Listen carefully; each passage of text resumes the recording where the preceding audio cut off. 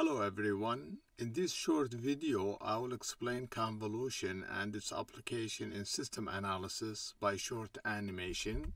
I hope by the end of this video, we will be able to visualize how the impulse response of the system process the input as it enter the system and produce an output as time progress and hopefully determining the limits of integration will not be a source of confusion. In system analysis we use convolution to find the output by convolving the input x of t with the system impulse response h of t. The convolution integral is defined as the integral of the product of the input at different instant of time by the impulse response of the system. To explain the physical meaning of this integral, let's take this ramp as the input x of t to the system. For clarity, we consider zero time as a reference for 12 noon and 1 for 1 o'clock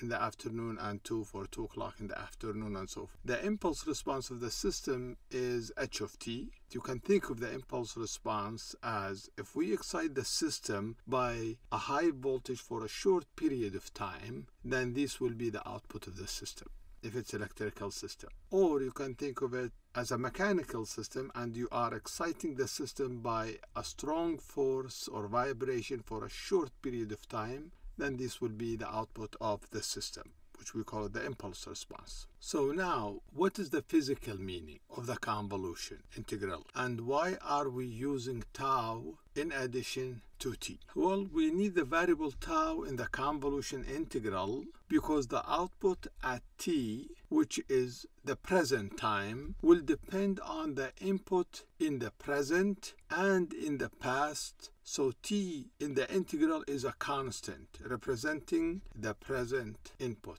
and present output. And tau represent the past, the present, and the future. So y of t, that is the output at the present, which depend on x of tau, past, and h of tau, processing the past input and present input.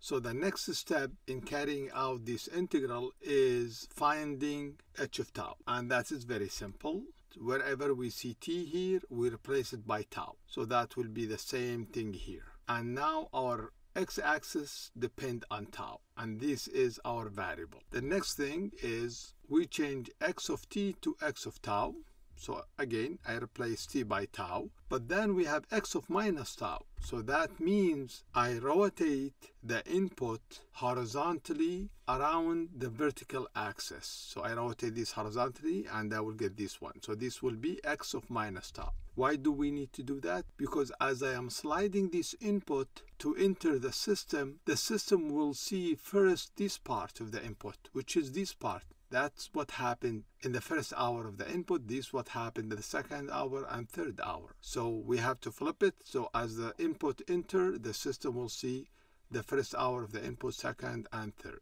The next step is we have to shift x of minus tau by t because I want to find the output at different value of t. That means if I want to find the output at 2 o'clock, I have to slide this input until it's at 2 o'clock. So when t here equal 2, then the system will see this is the present input, which is if you compare it to here, this is a t equal 2, that is the input. So the system will see this part of the input and it will start processing it. But it will already saw this part of the input and this part of the input and this part of the input and it's processing it. So what is the output? At t equal 2 that will be the output due to this present input and the output due to past input at 1 o'clock and the output that is due two hours earlier which is this one. So at 2 it will be the output due to this input and this past input and so forth just to clarify it if we take samples of the input and see how the system respond to these samples so we are taking now three instant we still want to know how the system respond at 2 o'clock. What's the output at 2 o'clock? So this is shifted to 2. So that means the system already see this impulse, one instant of the input, and already saw this one and this one. So at 1 o'clock, this impulse hit the system, the system will output this. At 130, this part of the input hit the system and the system will output this impulse response which is the impulse response multiplied by this amplitude which is 0.15 time 1 you get 0.15 this at 2 o'clock this is the impulse it's 0.2 multiplied by the impulse response here 1 that will be 0.2 so at 2 o'clock exactly the output will be what? It's this output due to this impulse plus this output due to an earlier impulse plus this part of the output due to an input at 1 o'clock and you can think of it here this is the present input hitting the system. This input hit the system half an hour earlier. This is one hour earlier. And what is the total output at 2 o'clock? It will be this portion plus this portion plus this portion, which are this portion here, here, and here. Now for a continuous system, it will be this portion of the input, which you plug for T here 2, it will give you this plot, and that will be this one, multiplied by the impulse response, h of tau, which is this one. You multiply them, you will get a curve that looks like this. And then you integrate, and that will be the area, and that will be your output at time 2 in the afternoon. And integration is equivalent in the discrete case a summation of these plus these plus this. But a continuous case is more accurate because you are not just taking three samples for one hour and a half. You are taking the whole possible inputs hitting the system and how the system is processing it. Now, mathematically, it doesn't matter which one you rotate. You can rotate the input or you can rotate the impulse response. In general, we rotate the signal that will make the integration easier. But I think it's easier to relate convolution to the system process of the input if we rotate the impulse response. For example, here I am actually rotating h of t, so that is h of t minus tau, which is this one, and I'm keeping the input the same. Now, if I want to find what is the output at 2 o'clock, I shift this t to 2 here. So at 2 PM, the output will depend on the system, which is this one, processing this input. So now this is the present input, this is the past input, this is the earlier input.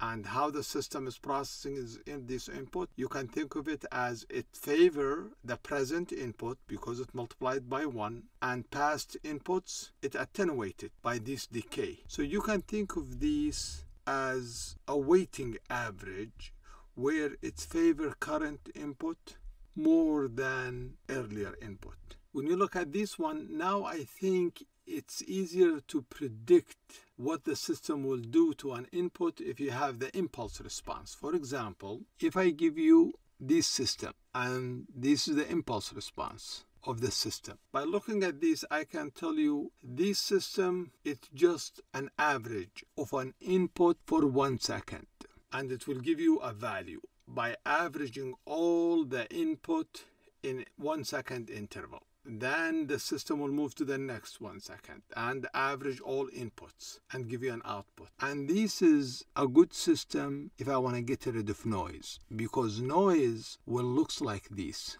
So what does this system do? This system will multiply all the noise by one, let's say this is one, and then integrate, which means sum. Now, when it do the sum, the probability of having positive amplitude and negative amplitude for noise is equal. So when you sum them up, the positive will cancel the negative and you will get zero. But if this noise in top of a signal like this that you are interested in, that won't affect it much because it will average all these inputs and give you a value, then average these inputs and give you a value, then average these inputs and give you a value, and you will end up with a sinusoidal. But that will not be the case for a high frequency. Let's say you have a high frequency component in your input, something like this. Now this system will filter out these because the positives equal the negatives and you sum them up and you give one single data point and that will be zero. And you could have said that if you look at the Fourier transform of this impulse, which is a sinc function, that is omega. And this looks like a low pass filter. It will allow low frequency component like these to pass, but it will attenuate high frequency and noise. Okay, so this is the physical meaning of convolution. In the coming slides, which is part of the animation, I want you to watch the following. This will tell you the time, the output at 1.5, so that will be here. So you're going to be sliding the input to here and the output, this is the convolution integral, will be this line, which is this the equation, multiplied by this part, which is this. And that's the input. And the integral, the limit of integration will be where they overlap, which is this yellow rectangular. They overlap from 0 to t. So that is your integral. And if you carry out this integration, you will get this output y of t. And if I want to know what is the input at t 1.5, which is here, I plug here t 1.5 and I will get a value that is equal 0.097 which is this. This is the output at 1.5 and if I multiply this function time this function I get this curve. And if I integrate then I am finding the area and that area will be 0.097 which is the output at the time 1.5 so I'm gonna show now many slides. One of the slide will be this one. Now if you look at this slide where you're gonna integrate? Well the overlap doesn't matter what's t as long as t between 2 and 4 the overlap will be between 0 and 2 so the output will be if you integrate this one you will will be this one. And if I find the area under this curve which is this one if you plug for t 2.5 it will be 0.24 and one of the slides will looks like this one. That's when t is 5 where do you integrate? This is the area where the input and the output overlap.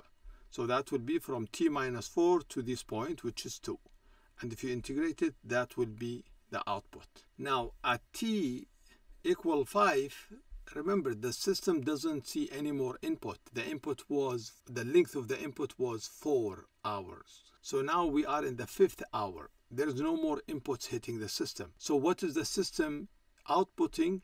It's, it's output based on earlier input. So the system's outputting energy stored in it due to a past input. And the system will keep outputting until here, where now T is 6, so the system output all energy stored, and if you look at the output, the length of the output 6 units, which is, according to one of the convolution property, it should be the length of the input or the first signal, which is 4, plus the width of the second signal, which is 2. So when you see the animation, that's what you will be seeing.